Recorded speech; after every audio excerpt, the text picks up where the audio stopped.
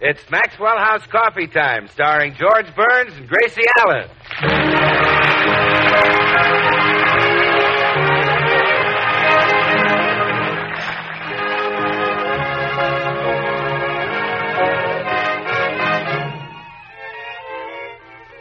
Maxwell House, America's favorite coffee, brings you a new series of programs featuring the domestic adventures of that lovable Mr. and Mrs. George and Gracie. With yours truly, Bill Goodwin, the Les Paul Trio, and the music of Meredith Willson and his orchestra.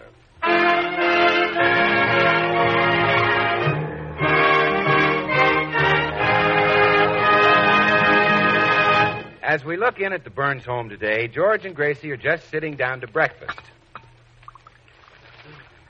Boy, nothing like a cup of coffee to start the day. Warms your stomach. uh, what's so funny? Oh, the coffee warming your tummy. I was just thinking first the pot warms the coffee, and then the coffee warms Never the... mind.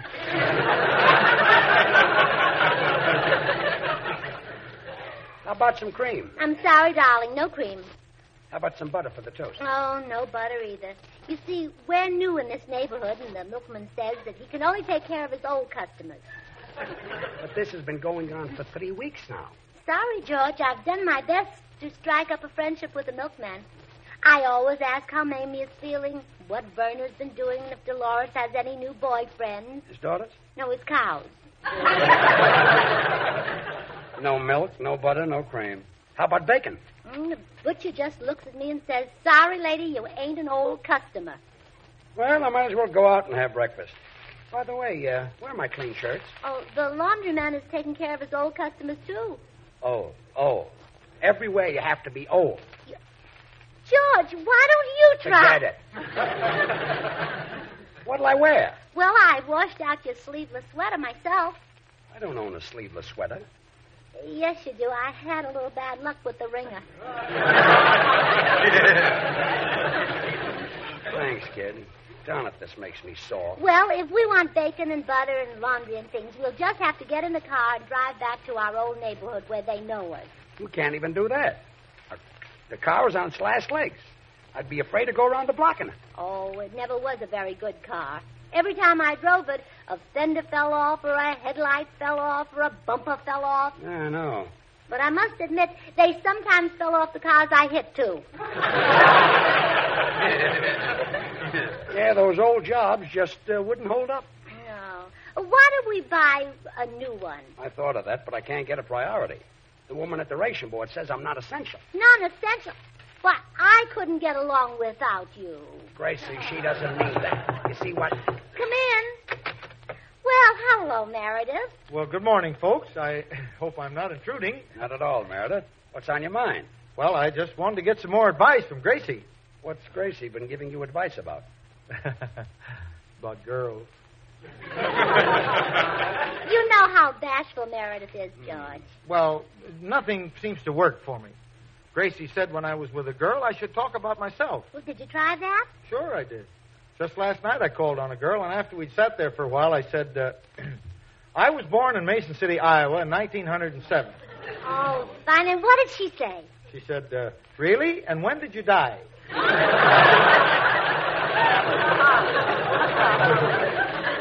A fair question. Meredith, maybe your clothes are partly to blame. Have you ever thought of dressing to attract girls? Oh, gosh, no. I pull the shade down.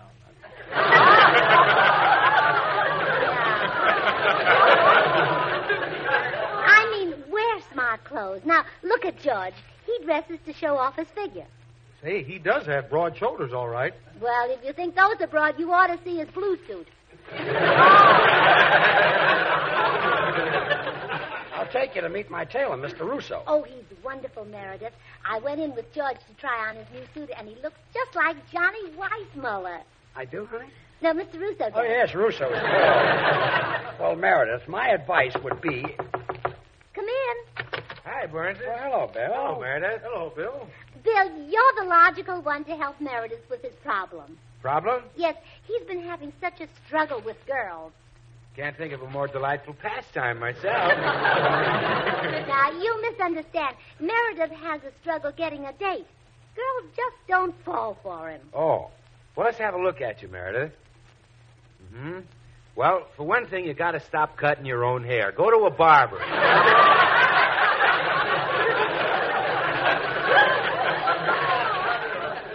But, Bill, they always cut it too short.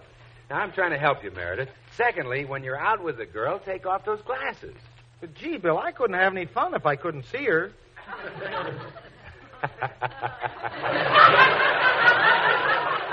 and another thing. Look. Bill. Bill, to listen to you, you're the only guy in the world who doesn't have a problem with women. Well, don't kid yourself, George. Right now, five of my girls are mad at me.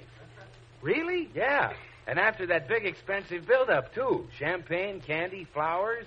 They spent a fortune on me. and now all five of them have gone over to Van Johnson. Oh, Bill, there are thousands of girls in Hollywood. What do you care about five? Well, Gracie, a thing like this can grow. Pretty soon there'll be six girls in Hollywood who aren't mine. And then seven.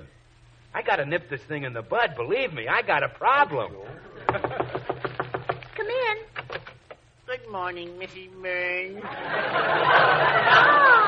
hello, Mr. Postman. Good morning, fellows. Good morning, Mr. Postman. Quite a gathering you have here. Yes, and everyone's brought a problem. How about you? No, I left my wife at home. Ah, still having those little run-ins with the missus, huh? Yes. This morning I was forced to raise my hand to her. She struck me. Oh, how terrible. But you shouldn't have raised your hand to her. I had to. I couldn't get up off the floor by myself. Sounds like your wife's a little grouchy in the morning, Mr. Postman. But a lot of people are that way until they've had a cheerful cup of delicious, fragrant Maxwell House coffee. yes, but I'm never grouchy in the morning. I wake up with a smile and a song. I feel so wonderful. I just want to take my mail bag and flit from tree to tree.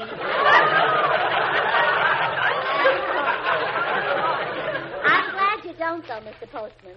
You'd be bringing me some battered-looking mail. Yeah, and one battered looking mail in the family's enough, huh? Always Costello, never Abbott. Mr. Goodwin, hmm? do you think a cup of Maxwell House coffee might make my wife a little more pleasant in the morning? Well, that's very possible, Mr. Postman. Its friendly stimulation gives life a lift, and more people buy and enjoy Maxwell House than any other coffee in the world. Oh, I love it. Every time you say Maxwell House, I just want to cheer. Really? Well, I don't blame you for wanting to cheer. You see, it has more flavor. More flavor in the blend because of the fine Latin American coffees, which are so skillfully combined that the result is a perfectly balanced blend. And Maxwell House. Rah, rah, rah. Just one more. Maxwell House.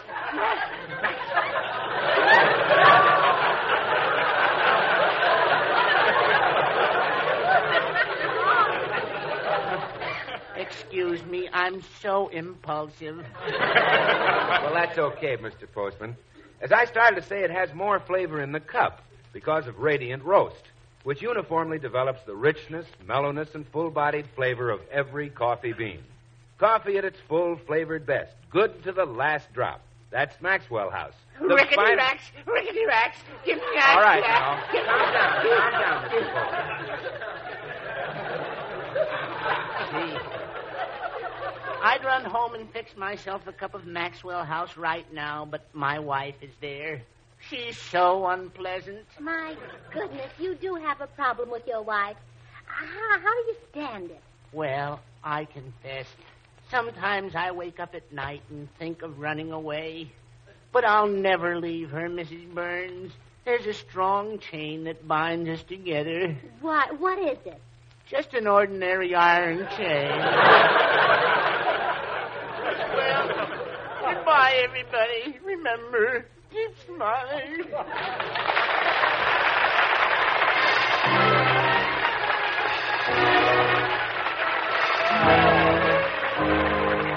And now here's the famous Les Paul Trio with their latest recording arrangement of Begin the Beguine.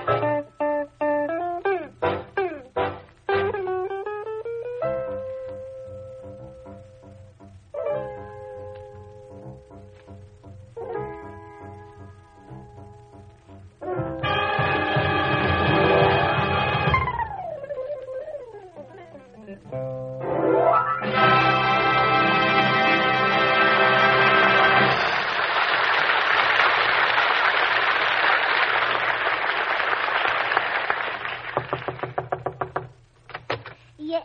Well, Blanche Morton. Hi, Gracie. Get your hat and come along. Where? I've just discovered the biggest bargain sale in history. Really? Yes, the Army is selling everything they don't need anymore. Think what we can pick up at a sale like that. Oh, I, I don't think George would like it if I brought home any soldiers. Oh, not soldiers, Gracie. They're selling all kinds of other wonderful things. Here, look at this list. All wool blankets, flashlights, girdles the Army bought for their wax. Oh, gee, flashlights and girdles. Something for George and something for me. Sure. Oh, I've needed a flashlight for years. Well, come on, come on, Gracie, get your hat. Oh, no, no, Blanche. I'm afraid I can't go with you. I, I couldn't get a penny out of George today. He's in one of those moods. You know the kind I mean. A normal one, huh? Well, he's got a reason. Because we're new in this neighborhood, the butcher won't sell us meat. The milkman won't sell us cream. The laundryman won't take our laundry. And to top it all, the ration board won't let him buy a new car. Oh. Isn't there any way you could get some money out of him? There'll never be another sale like this one. Well, of course, there is one method that's never failed with George yet flattery. Flattery? Well, yes. I tell him all kinds of wonderful things about himself. What a wonderful wife he has. How how wonderful she looks in her clothes. All kinds of wonderful things. Yeah, well, I, I think it might be wise to say a few nice things about him, too. Oh, certainly. I don't have to stick to the truth. No. well, you better think of something fast, Gracie. Look out the window. George is coming up the walk right now. Oh, my goodness. What'll. I know. Jimmy Stewart has always been his favorite movie star. He thinks Jimmy is the handsomest, most charming fellow in the world. Blanche, you just take your cues from me. Hello, girls. I was just. Well, of all people, welcome back to Hollywood, Colonel.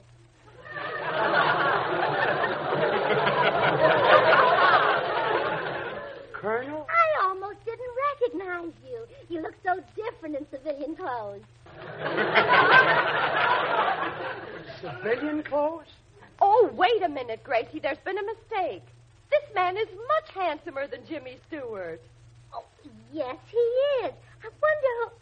Why, Blanche, it's my husband, George. No. Yes. I'm not giving you any money, so forget it.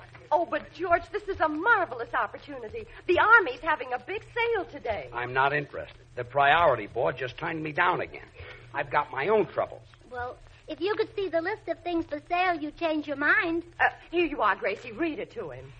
Ten Army soup kettles, capacity 500 gallons. Oh! Must have one of those. we might want a light snack between meals.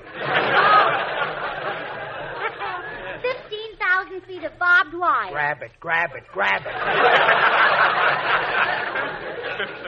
we can string it around the house in case your mother pays us a visit. 500, 105 how? Uh, uh, HOW stands for howitzers. That's Army abbreviation. Can't imagine a home without a howitzer. George, I may be wrong, but I don't believe you're taking this seriously. Gracie, it's amazing the way you can see through me. No money, huh? Not a cent, no. But you haven't heard the whole list. They're selling signal flags and tanks and jeeps and tents. Wait a minute, wait a minute. Did you say Jeeps? Sure. See, right here, 50 jeeps. Sweetheart, I apologize. You're a wonderful woman. Yeah, I know. what did I do? You solved our car problem. I'll buy a Jeep and the ration board could go jump in the lake. Here, I'll write you out a check for a down payment. All right. Now remember, all I want is a Jeep. Don't get anything else. George, have I ever gone against your wishes? Yes, Have I ever tried to deceive you? yes. Well, give me the check. You waste more time answering questions.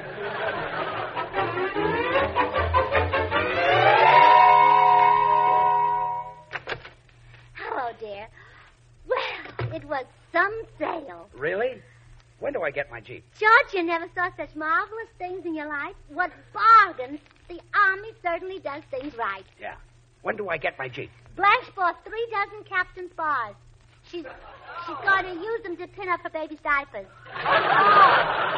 that smart? Yes, that's right. When do I get my Jeep? Well, they were only 50 cents a dozen. Of course, they came with the captains removed. When do I get my Jeep? You should see the marvelous eyes, Gracie. Todd. Huh? When do I get my Jeep? Your Jeep? My Jeep. Then I bought some Gracie, the. Jeep. when do I get it? Well, um, I, I didn't buy the Jeep, George. You see, I kind of ran out of money. Ran out of money. What did you do with the check I gave you? Well, I um, I bought something else with it, George. Something you'll get a great deal of pleasure out of. I was thinking only of you when I bought it, dear. What is it? A hundred pair of nylons. A hundred pair of nylon? Uh huh. You thrilled, huh? Well, this is fine. I send you out to buy a Jeep and you come home with a hundred pair of stockings? We needed that Jeep. How are we going to get around without a car? Oh, I have that all figured out. We'll hitch ride. Hitch ride? Well, sure. With a pair of nylons and a good strong wind, I guarantee to stop anything on the road. Oh.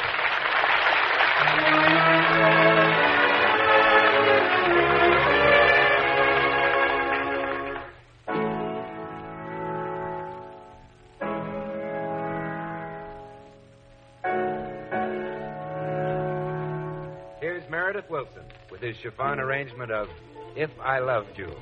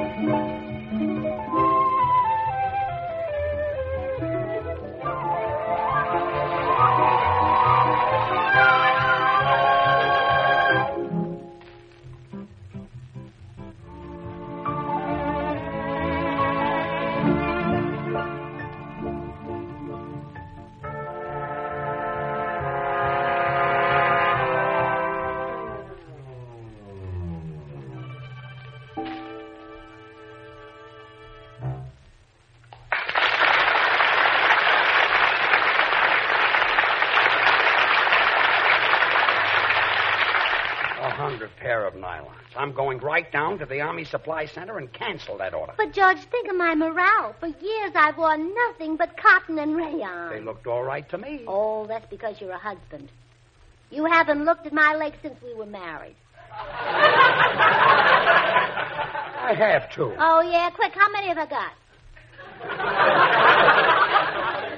Three. Came closer than I thought you would have. Yeah, it was a good guess, yes. Goodbye, Gracie. I'm going down and get my check back. But, George, I've told everybody in town that I have nylons. I'll be the laughing stock of all the women. That's tough, kid, but there'll be no nylons delivered. Come in. How do you do? I'm Mr. Bates, your neighborhood butcher. Oh, hello, Mr. Bates. I, uh, I brought you ham, Mrs. Burns, the finest I have in stock. Oh, how wonderful. How much is it? Oh, for you, not a penny. I, I want you to take it as a gift. A, a gift? Yes, uh, a little expression of goodwill. Oh, by the way, I understand you uh, have a hundred pair of nylons. That's right. Uh, they'll be delivered here at 5 o'clock. Splendid. My wife wears size nine. Goodbye. Well, I'll be gone. Uh-huh. You see? The nylons did it. When I wore cotton, the best we ever got was codfish. I can't believe it. Hello? Uh, hello, Mrs. Burns. This is Mr. Peterson, the druggist.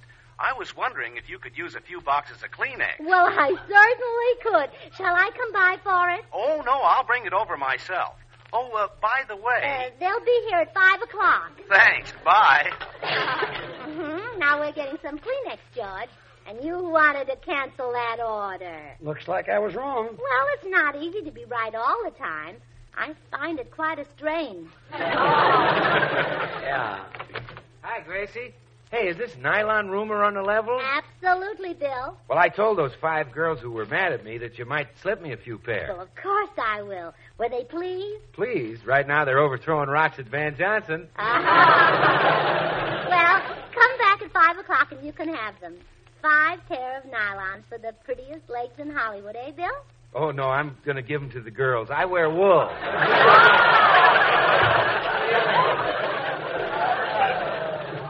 Those nylons are practically magic. Oh, yeah, they solve everybody's problems. Hello? Hello, Mrs. Burns. This is Mr. Winslow, the milkman. Oh, what size does your wife wear? Nine and a half. Well, I'll take a gallon of whipping cream. Goodbye. It's uncanny. Wave a pair of those things and you get whatever you want. Um, I wonder if Mrs. Charles Boyer would like a pair. What she got that you want? You're cute. Yeah, I'm cute. Come in. Uh, how do you do? I'm Mr. Connors, your neighborhood laundryman. You heard the rumor, huh? Yes, true? True, true, true. Good. Where'll I find your soiled garments? Just open any closet, Mr. Connors. They'll fall out. Do you suppose you could get them back in a week? A week. Step aside. I'll wash them right here. You'll find a tub on the back porch. Hello? Hello, Mrs. Burns. Uh, this is Meredith Willson. Oh, yes, Meredith. Say, that story about the nylons is all over town.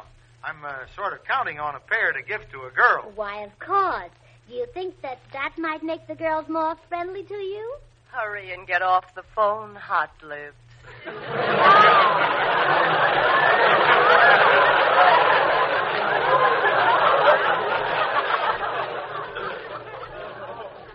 Yes, ma'am. I think it might.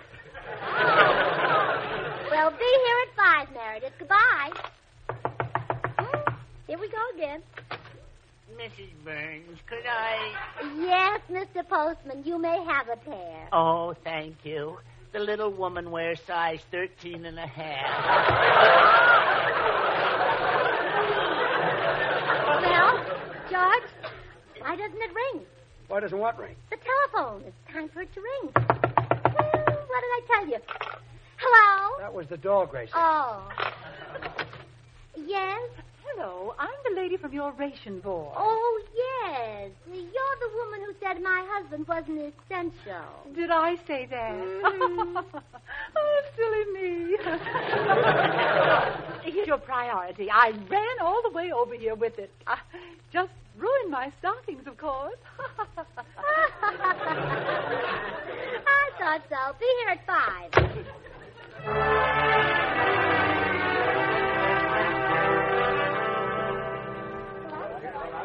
Quiet, quiet, everybody. Quiet down, everybody. Calm down and stay in line. The army truck just arrived, and Gracie is outside getting the nylons. Here she is. Uh, uh, well, uh, it's, uh, it was nice seeing all you folks. Uh, run along now and come visit us again sometime. But, Gracie, all these. What happened? Weren't they genuine nylons? Oh, yes, the finest nylon that can be made. Weren't there a hundred? Exactly a hundred. Well, then, what's the matter? The Army abbreviation, you see, on the list it said a hundred pair nylon. Well, Well, how was I to know that PAR stood for parachute? parachute. Oh, no.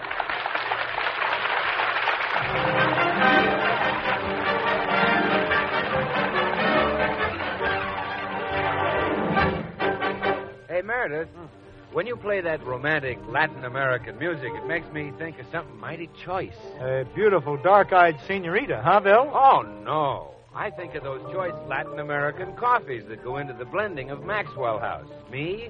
Think of a girl? Oh, Meredith. Oh, sorry, Bill. And you know the way you blended your musical instruments into that tango is just the way the makers of Maxwell House blend those fine Latin American coffees. They use Manizales for mellowness, Medellins for richness, other fine Latin American coffees for vigor, and Bucaramangas for full body. And when these coffees are skillfully combined, the result is a perfectly balanced blend. America's number one coffee choice, Maxwell House. Always good to the last drop.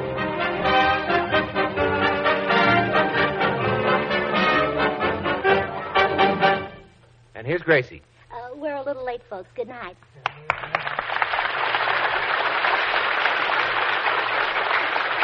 Join us again next week when we'll all be back. George Burns, Gracie Allen, Meredith Willson and his orchestra, and yours truly, Bill Goodwin.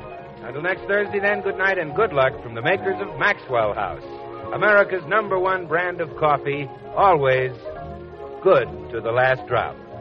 Stay tuned to this station because Dinah Shore's open house is coming on in just a second.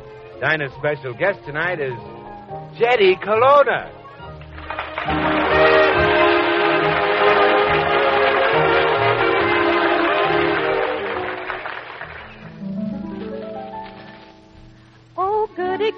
Jello pudding tonight. It tastes like grandma's, only more so. You ain't kidding, that's right. And, just as Jello, six delicious locked in flavors can't be beaten. So the proof of Jello pudding's in the eating. The Jello twins are hard to find, but keep on looking in your store. When sugar shortages are over, there'll be more.